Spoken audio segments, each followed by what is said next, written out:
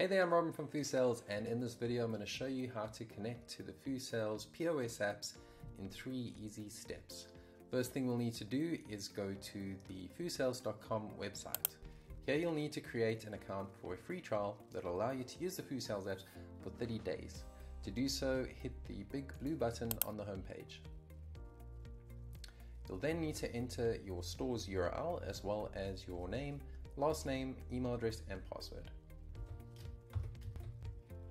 Once you've entered your details, hit the blue sign up now button and your account will be created. Next, you'll need to install the FooSales WordPress Helper plugin on your WooCommerce store.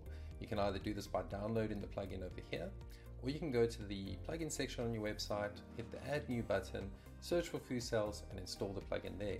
Once done, you'll be taken to the FooSales settings screen in your WordPress backend. Since we've already created a free trial account and entered your store's URL, you'll see that it's been connected successfully over here. This means you're ready to log into the FooSales apps. You can either use the iPad app, the Android tablet app, or the web app which runs in your browser. Next, you'll need to enter your store's login credentials so that the FooSales app can connect directly to your WooCommerce store. Once you've entered the details, hit the connect button.